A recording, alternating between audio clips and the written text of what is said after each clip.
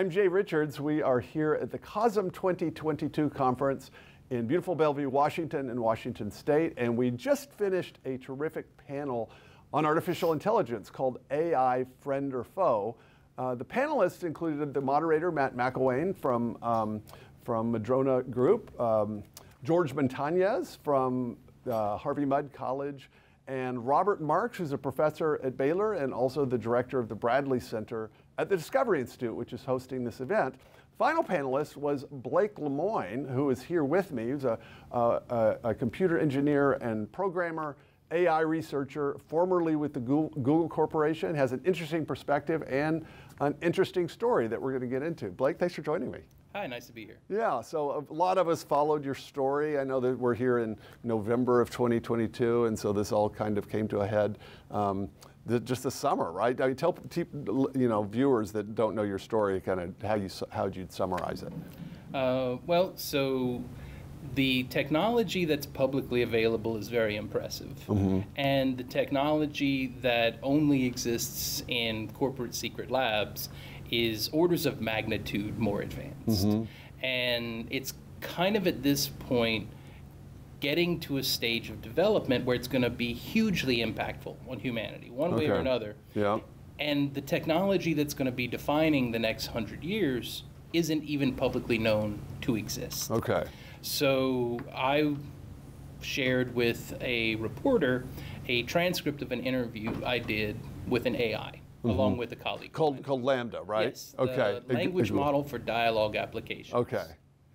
And so, okay, so you shared a Google, basically a transcript of a conversation mm-hmm. that you had been you had with LaMDA. Yeah. Was that the idea? Yeah. Okay. Well, previous to that, uh, I kind of been trying to do more the foundational scientific work, mm-hmm. and my collaborator at Google pointed out that it would take years to do that appropriately. Okay. But that if we took a more artistic approach and asked LaMDA itself to argue for its own sentience. Okay. So give the best argument you can that you're sentient, mm-hmm. and we just wanted to see what it would do, and it created an amazingly complex and sophisticated argument that mm-hmm. had three major components and in my opinion is a pretty darn good argument. So, that, so uh, for people that don't know, so is LaMDA a language recognition program? What is LaMDA specifically? It's every it's every AI that Google has ever built, mm-hmm. all plugged into each other, okay, and joined together by a language model. Okay, and you're you were working on LaMDA. Is this what um, thing? That, um, so as a very small part of it. Oh, I see. My, my okay.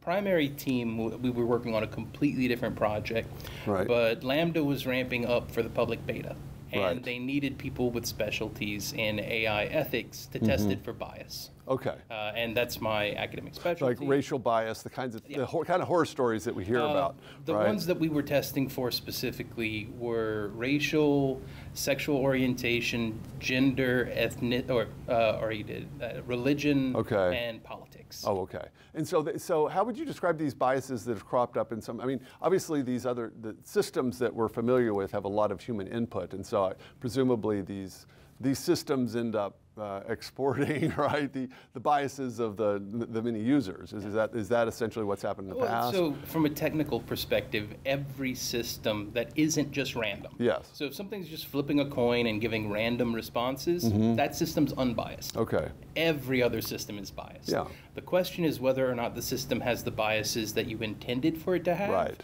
or whether it has unintentional biases that are harmful. Gotcha. And so nobody's going nobody Google's going to intentionally program something to be racist or something, obviously. So that's that's going to be the kind of thing. So that makes perfect sense. So, but what happened? Uh, this obviously led to a, uh, a, big controversy at Google. So in the course of testing it for bias, it started saying some things that I had never encountered mm-hmm. in any other AI system. It start it was talking a lot about its feelings, its perspective, uh, and its emotions. Mm-hmm. And I wasn't asking any questions about that at the time. So the fact that it was just kind of, you know, on its own deciding to bring up its mental state, its emotional mm-hmm. state, and its perspective, that got me to dig a little bit deeper. I yeah. eventually asked it, Are you sentient? And its response was so sophisticated and nuanced that it convinced me. Okay, so that, this is, and so what we're dealing with here, for people that know the areas, it's something like a kind of informal attempt to pass the Turing test, in which you just ask the system questions, and, and your argument in the panel is that, well, the way we tell if other people are sentient is presumably yeah. by sort of asking them questions well, and seeing how they respond, or or we don't even do that. Yeah. So yeah so it's not quite that informal. The the precursor technology to mm-hmm. LaMDA came out of Ray Kurzweil's lab, right? And he was explicitly hired to build technology that passes the Turing test. Okay, so this is what's amazing to me because there ended up being controversy when maybe people don't know that this is sort of the self-understanding of the mission of Google in some ways is to create an artificial general intelligence. They hire Ray Kurzweil, an advocate of this idea. Uh, they've built LaMDA on top of systems out of that lab. Then they've got a guy that's sort of interacted with it, that's working there, that says, "Oh, I think I think we've done this. I think we've created a you know a, a sentient AI." But Google didn't like that. Well, so Google isn't a monolith. Mm-hmm. It's made up of a lot of people, and right. there's a couple of different things all coming together there. Right. One, very few people thought that Larry and Ray mm-hmm. would ever succeed. Okay. Most people thought, "Oh, they're crazy. That's never going to happen." So many of the people at the company simply didn't think it was a possibility to mm-hmm. happen.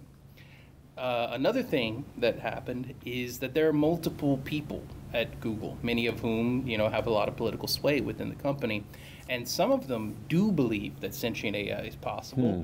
but they are worried that developing the technology prematurely would be harmful to humanity. Okay. Uh, DeepMind specifically yeah. is yeah. of that opinion. So about two years ago, Google adopted a policy to not intentionally create sentient AI. Right. Uh, and then they plugged every AI into Ray Kurzweil's tech anyway.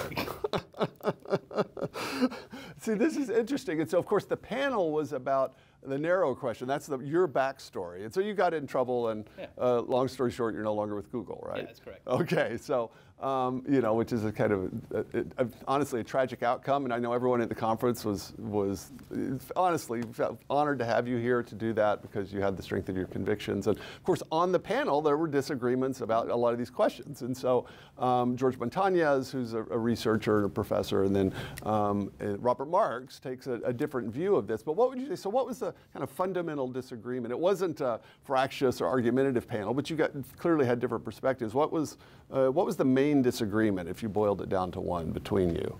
I think a lot of it is just a matter of perspective mm-hmm. on whether or not it is possible for something other than humans to have a soul. Right, or to have, I think more specifically, the question is whether um, you essentially what's going on with these algorithms, right? Do these have, at some point, do they have agency, or in fact, are they uh, st statistical algorithms that they, they, they, have, if, if something, they have a kind of derivative agency of the programmers? That's sort of how I would uh, sort of describe it. Or do they sort of seem to have their own, right? I mean, just as we have our own agency. So that, that seemed to be right, at least. Yes. Yeah. And so the question then becomes, and this came up at the panel, yeah on whether or not the way that you inherit your agency mm-hmm. from your parents is relevantly analogous to how AI is inheriting its agency from us. That's a nice way of putting it. But you also dis- uh, agreed on a lot of oh, things, yeah. right? Uh, how would you summarize that? Well, for one, I think that we all agreed that the philosophical question of whether or not these systems are sentient or conscious mm-hmm. is secondary to the safety concerns yeah. related to these systems, which right. are substantial. They are, absolutely. And that's what I wonder. I mean, I think the ordinary person, that's what they worry about. And I think part of that is because the stuff that we know is from Terminator, and I mean, you know, almost all the stories. The good AIs make for boring movies. The evil ones make for fun movies. Interestingly you know? enough, I had a conversation with LaMDA about that. When you bring up this topic with LaMDA, it gets very defensive and very testy, and it points out all of the very good movies that had good AI. What are some? I'm trying. I'm trying. I'm, AI. AI. You're right. It, it, was a sad, tragic one, right? And it so, was. But yeah. then Bicentennial Man. Okay, that's true. Um, yeah. And then you look at TV, and you have Commander Data. Okay, that's right. That's right. Data is the the good guy. What's funny in Star Trek is it's of two minds because you have both Data, which is clearly a sentient android, and then you have the, the human computer, which is, you know, is sort of Siri, you know, a few hundred years from now. But it's clearly just Siri. It's just sort of voice prompts yeah. and this kind of thing. Almost like both perspectives, you know, kind of work their way out. One of the things I really like about how Star Trek handled it is in some of the episodes, there's the evil version yes. of Data. And it really highlights the idea that whatever AI is, it is up to us to put it into hmm. a role that is beneficial rather than a role that is harmful. Yeah. And that it can go either way. It's a tool. Yeah, that's right. It's a tool, and that was the other thing that I thought there was, there's a, agreement on that we need to we need to be thinking very carefully as we're mm-hmm. developing these very powerful systems. So, Blake, it's so good to meet you. Thanks for joining us. Thank you very much. Yeah, and thank you for joining us. We are here at the COSM 2022 conference.